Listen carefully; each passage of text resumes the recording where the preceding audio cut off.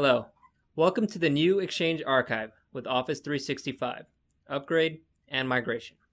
My name is Ankur Kothari with the Exchange Product Management Team. This presentation is for existing Exchange hosted archive customers.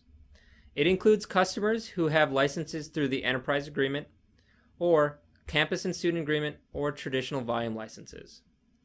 If you are a customer based on Service Provider License Agreement or, or get your services from a hoster, please contact that hoster for more information on archiving services based on Microsoft technologies.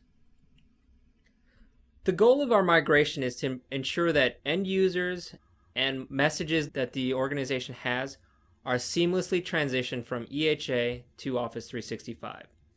During that period in time, there will be an uninterrupted availability of the archiving services from Microsoft.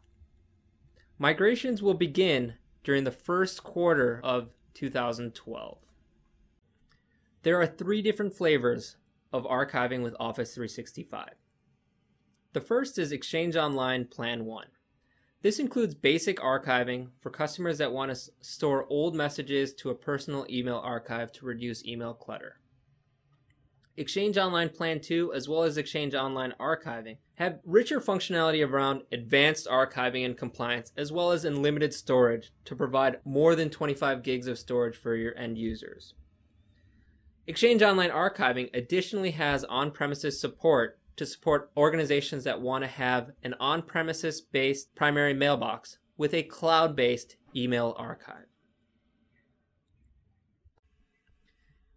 If you think about how Exchange Hosted Archive and the archiving service in Office 365 compare from a feature perspective, you can see that Office 365 has many more features than the Exchange Hosted Archive service does.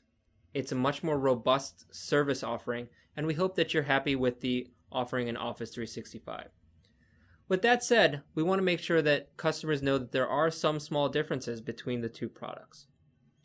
The first is in retention and hold policies, an organization in Exchange Hosted Archive can have one click company and domain retention policy from the UI directly. In Office 365 archiving, we have a much more granular capability to allow an organization to use the Exchange Management Shell to specify how many users or to actually set it based on the entire organization as a whole. However, it's not UI based. And so an organization would need to either write a script or to write a one line capability to do that on their organization as a whole. However, in the UI, they can specify individual users. The same is true from one click company and domain legal hold. The functionality exists in Office 365 archiving, but it is not a one click behavior for Office 365. Exchange Hosted Archive and Office 365 both have retention and hold policies. EHA gives you simple statistics on how many messages have been removed from the EHA service. Office 365 allows an organization to actually restore those messages if they if they request based on their expiration period set by the business. Office 365 also has a, a tool that will allow a compliance officer to do random sampling. This tool is desktop based as opposed to website based.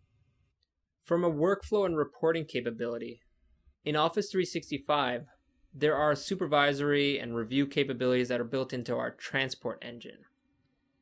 And in Exchange Hosted Archive, the review functionality is built directly into the EHA management interface.